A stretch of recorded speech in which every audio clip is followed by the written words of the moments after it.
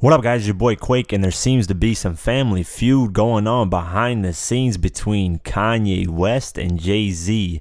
Now, this clears up a lot. If you guys haven't heard Jay Z's new album, 444, I'm not going to ruin it for you guys too much, but there's some bars in there where he's going at Kanye West and supposedly telling him that he fronted him $20 million for the Tidal deal.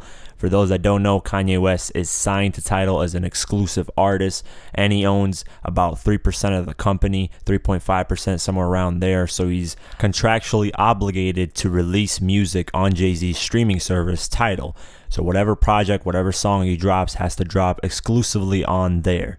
But there seems to be some behind the scenes issues. Kanye West supposedly is trying to leave Tidal because they owe him $3 million.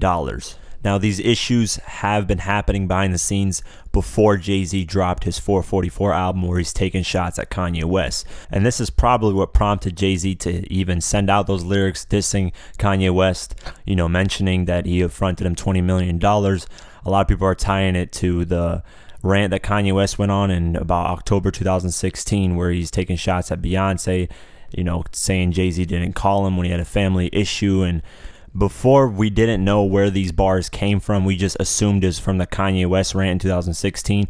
But this makes things a lot more clear now that this information is out there that Kanye and Jay Z are having behind the scenes issue with Tidal. Because if you if you listen to the Jay Z lyrics on the Kill Jay Z song, he's basically referencing a lot about Tidal and him fronting the 20 million for the Tidal deal. So I'm almost willing to bet this is where these lyrics came from. This is why Jay Z decided to go at Kanye. I probably has nothing to do with the 2016 rant, maybe a little bit, but not too much. So now let's go over the article that TMZ broke. And it says Kanye West, a key player in Jay Z's Tidal stable, has left the company over a money dispute, and Tidal has threatened to sue him. Sources connected to Tidal tell TMZ Kanye has been unhappy with the company for a long time. We're told Kanye has complained the company owes him money, more than 3 million. Our sources say a month ago Kanye's lawyer sent a letter to Tidal saying the company was in breach and the contract was terminated. Over the next 2 weeks lawyers for both sides tried to resolve the conflict but failed. We're told 2 weeks ago Kanye's lawyer fired off a second letter declaring again the contract was over. So clearly with what's this article is saying Kanye wants to leave badly. I mean, I would want to leave too. I don't know why these streaming services are doing exclusive contracts with artists. It doesn't motivate me to get the streaming service anymore because I can get the music somewhere else. Exclusive music just it limits the music from getting out there more. It's stupid in my opinion. It hasn't motivated me. I don't think it's motivated a lot of other people to get the streaming service. I think it's just all about user experience, but that's just me. So, continuing on, Kanye's decision to split from Tidal predates to the release of Jay-Z's album in which he trashes Kanye, and we're told Kanye has no advanced knowledge of Jay-Z's lyrics. Basically saying this is before Jay-Z released the album and Kanye had no knowledge that Jay-Z was you know sending shots at him on that album. So, continuing the article, it goes off by saying, We're told Kanye's beef with Tidal is twofold. His The Life of Pablo album resulted in 1.5 million new subscribers to Tidal, for which he was supposed to get a bonus, but the company hasn't paid. Kanye also says they need to reimburse him for the music videos. So clearly, you know, The Life of Pablo being exclusively released to Tidal brought in some new subscribers to Tidal, and apparently he's supposed to get a bonus for that, but they haven't cut in the check. So I'm assuming that's where the 3 million comes from and they haven't paid for the music videos he's done. But Tidal responds by saying Tidal's position is that Kanye didn't deliver the videos required by the contract. Kanye's response, I'll deliver the videos when you pay me what I'm owed.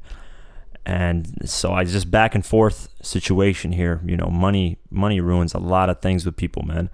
Uh, continuing the article, we're told the Tidal fired off a letter to Kanye saying, as far as the company was concerned, it still had an exclusive contract with the rapper, and if he tried to go another streaming service, they'd sue him. We're told Kanye is willing to walk away, but if Tidal sues him, he'll sue them right back. So Tidal isn't backing off. They're they want him as an exclusive artist. I mean, if they sign the contract, Kanye got to deliver. I mean, I know he's upset. He probably didn't get the money, but I'm sure Jay Z's good on paying him. I mean, they're close. At least they were previously close. I don't know what's going on now. It seems very wishy-washy. You know, when money gets involved, a lot of bad things go on with artists, and they just stop talking to each other and possibly never, you know, become friends again or do music again or even do business again. You know, you know what happened with Dame Dash and Jay Z. They may be somewhat on cool terms, but they're never doing business again. So this is just, you know, this clarifies a lot of what Jay Z has been saying on the 444 album. So with that being said, let me know what you guys think. Do you guys think this is where the bars came from? Because we didn't know this previously. We just assumed it was from the 2016 rant of him going at Beyonce and Jay Z, which was a valid reason to, you know, spit some bars at him, take some shots at him. But this clarifies it a lot. And let me know if you guys, you know, do you guys really mess with uh, streaming services? Uh, allowing, you know, do you guys go to streaming services if there's exclusive music drop there by your favorite artist? Do you guys subscribe to the streaming services? I know I don't. It doesn't give me an incentive to use it at all.